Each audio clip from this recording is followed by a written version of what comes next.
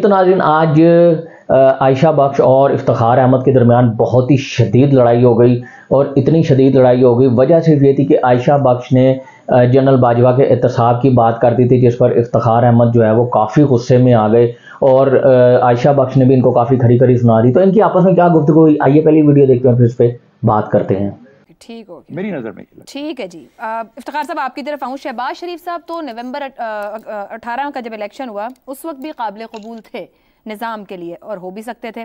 असल मसला नवाज़ शरीफ का रहा या जो नज़र आता है दिखाई देता है। हालिया बयान क्या छोटे भाई और जमात की सियासत पर असरअंदाज होंगे या ये सिर्फ़ एक सियासी बयानिया है या कुछ हासिल करने की कोशिश है इस पूरी सूरत हाल के अंदर क्या हासिल करना चाहते हैं वो आपके ख्याल में?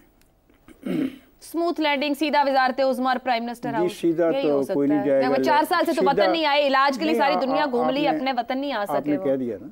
अब दस दफ़ा भी आप ये बात कहें तो मेरा जवाब तो एक ही होगा बिल्कुल। वो लैंडिंग होगी। हाँ। और गिरफ्तारी भी अगर देनी पड़ी तो देंगे। ठीक। उस प्रोसेस में से गुजर तो जो बयान दिया है उन्होंने तो बयान में क्या हिसाब से भी वो क्या गलत बात कही है मैं ये नहीं कह रही गलत मैं आपसे पूछ रही हूँ कि जिन बाजवा साहब को एक्सटेंशन देते रहे उनके खिलाफ तकरीर करते रहे फिर हक में खड़े हुए फिर खिलाफ हुए। भाई मेरे बाजवा को इसलिए एक्सटेंशन दी गई थी कि अदालत ने खेल किया पार्लियामेंट के साथ।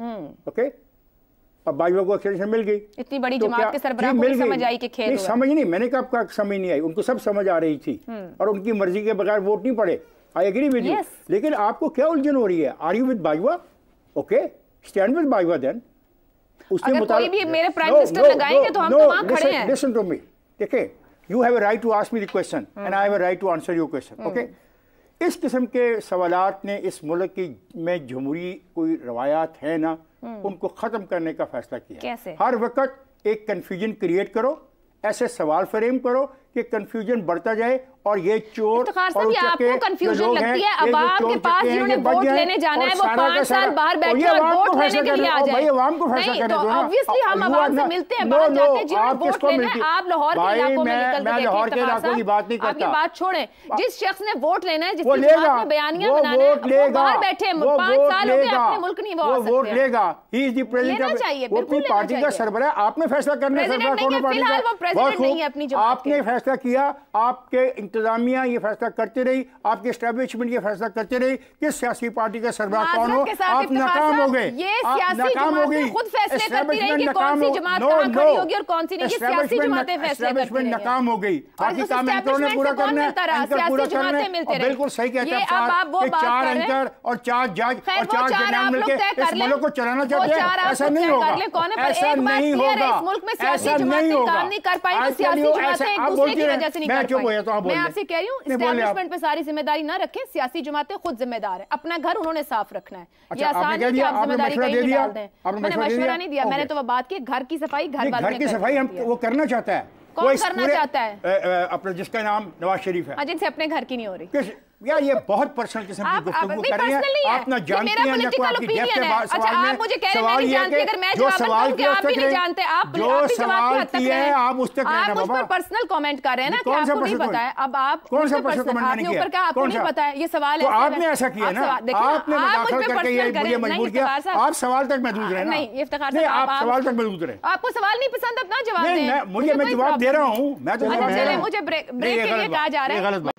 जी तो नाजिन जैसा कि आप लोगों ने वीडियो देखी और आपने देखा कि आयशा बख्श और इफ्तार अहमद के दरमियान बहुत ही शदीद लड़ाई हो गई। असल में इफ्तार अहमद जो हैं, वो हैं तो तजिया निगार, लेकिन वो बेसिकली नून लीग की तरफ़ से बोलते हैं।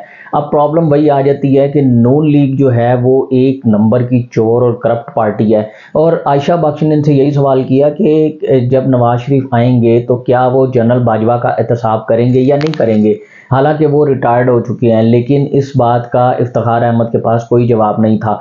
वो कह रहे थे जी कि नवाज़ शरीफ आएँगे तो वो अपना सारा गंद साफ़ करेंगे। जिस पे आयशा बख्श ने उन्हें ये कहा कि नवाज़ शरीफ अपना तो गंद साफ़ कर नहीं सके, वो किसी का गंद कैसे साफ़ करेंगे? जो बंदा चार साल से इश्तारी है, चार साल से बाहर बैठा हुआ है, दवाई लेने गया था लंदन और वापस नहीं आया, और उसने ये कहा, ये बंदा एक दिन भी डॉक्टर्स के पास नहीं गया, इसकी कोई रिपोर्ट नहीं है इस बंदे ने कहा, जी डॉक्टर्स ने मुझे ट्रैवल करने से मना किया है, जबकि वही बंदा सऊदिया भी जाता है, वही बंदा दुबई भी जाता है, वही बंदा यूरोप भी जाता है।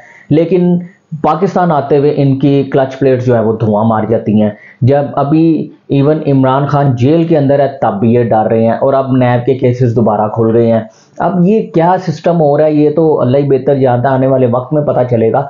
कि इन्होंने नैब के केसेस दोबारा खोल दिए हैं। लेकिन ये तो वही बात हो गई कि आपने बिल्ले को दूध की रखवाली पे खड़ा कर दिया और जब बिल्ला सारा दूध पी गया, आप देख रहे हैं कि बिल्ला पी रहा है और जब उसने ख़त्म कर दिया और बिल्ला चला गया, तब आप कह रहे हैं जी कि जब हम बिल्ले को सजा देंगे। तो ये तो कोई चक्कर नहीं है। जब आपने उसको लगाया था, आपको उसका पिछला ट्रैक रिकॉर्ड पता था, शबाज शरीफ को जब लगाया था कि ये लोग एक नंबर के करप्ट हैं। अब आपने उन्हें लगा दिया, वो मुल्क को डिफ़ॉल्ट कर गए, अब वो लंदन में बैठे हुए हैं, अब आप लोगों ने केसेस खोल दिए हैं, वो वापस नहीं आएँगे। ये तो ये होना चाहिए था कि जैसे जिस दिन उन लोगों की गवर्नमेंट ख़त्म हुई थी, आप लोग उनका नाम ई सी एल में डालते और उसके बाद जो है मज़ीद उनको एहतसाब की तरफ़ लेके जाते केसेस उनको रिवर्स करते केसेस खोलते, उनको सजाएँ दिलाते, तब बात बनती। उनको भगा के अब आप लोग केसेस खोल रहे हैं आवाम को पागल समझा हुआ है।